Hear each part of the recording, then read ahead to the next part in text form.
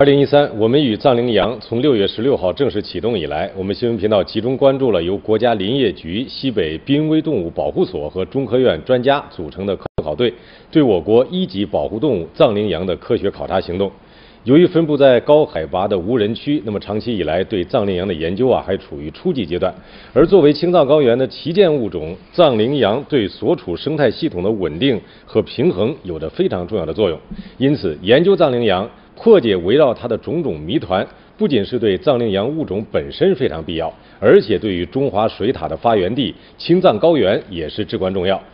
因为更好的了解，才能谈得上有效的保护。那么，除了专家对藏羚羊这样的野生动物比较关注以外，普通百姓对野生动物有哪些认识？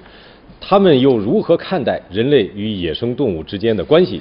对于如何保护野生动物，又有什么样的想法和建议？人类如何才能与野生动物、自然环境和情相和谐相处？那么这几天，我们的记者啊，也随机对中国许多城市的老百姓啊，对普通民众进行了一些采访。那么大家也都各自说出了关于保护野生动物的不同的一些看法。从今天开始，我们就一起来看《我们与藏羚羊》特别报道。我们来听一听啊，关于野生动物，大家都是怎么说的？平时最喜欢什么野生动物？野生动物啊，还是野生老虎。老虎，嗯，为什么呢？它威风，它野生啊，啊它自食自食那个自力更生啊。巨蟒、大象那些的。我喜欢大熊猫。企鹅算吗？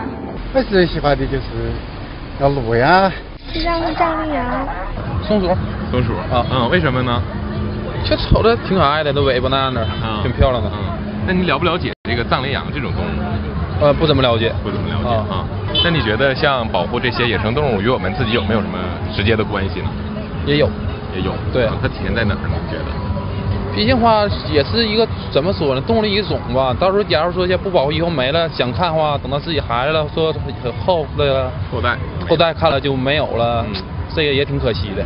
那你了解这个藏羚羊这种动物？嗯，前两天有人去四川去旅游，就是拍过照片回来，我就知道一个藏羚羊好像挺贵的。挺贵的。白色的，就唯一就是挺稀有的嘛。挺稀有的。啊，对，而且是四川那边成都吧，满地都是那个藏羚羊嘛，应该是。嗯嗯。坐坐车的时候看过他们拍照片。嗯。剩下就没怎么了解。喜欢什么动物？老虎。老虎，为什么呢？好看。好看。那大爷，您知不知道藏羚羊这种动物？啊，在电视看过。在电视看过。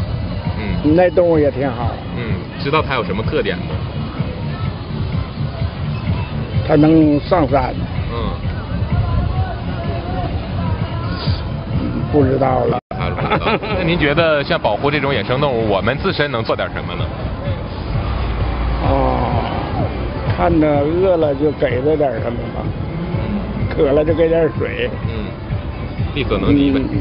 别叫他再喂些牛呆子。嗯。那也没什么好办法。您知道那个藏羚羊吗？知道，藏羚羊知道。啊，我不知道。我爸没事我领我上动物园。你人家拍了。哦，行行行，我先马上挂了电话，有点事。嗯，拜拜。说什么，帅哥？不好意思。就是你知道那个藏羚羊吗？我知道。那你认为保护像藏羚羊这样野生动物跟你有没有关系？有关系啊，人人有责吗？不是，这个是发自肺腑的啊。嗯。因为你看，我们生活在这里，首先我们应该树立一种想法，就是我为人人，人人才能为我。只有你付出了，别人才能付出嘛。嗯。还有什么问题？那你认为那个保护野生动物，我们能做些什么？做些什么？光喊口号肯定是没用的。但是你要捐钱吧？说实话，我们学生没有多少钱。你觉得保护藏羚羊跟你有关系吗？有。有什么样的关系呢？因为我属羊的，有要保护羊。哦，是这个原因。知道藏羚羊吗？藏羚羊我知道。你是怎么知道藏羚羊的？这从看电视了，在这个报道上许多说的。哦。那一般情况下，你说人他突然知道那个藏羚羊不太多，对不对？那您觉得，要是保护野生动物，我们能做些什么呢？那还是要从你们努力起来，咱这个重要大力宣传，这是最主要。再你说，人他这个意识，这有些他都是就是不是说他生来就具有的，他通过学习他他才有这个东西，对不对？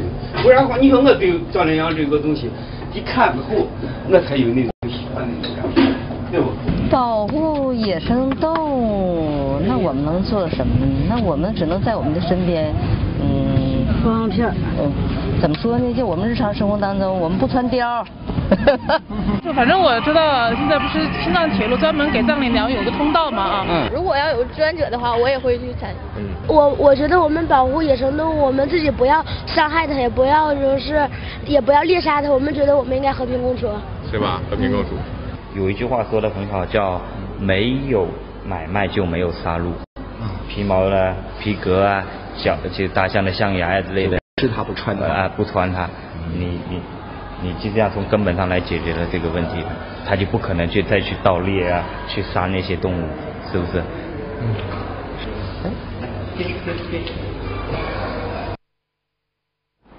我们看到对。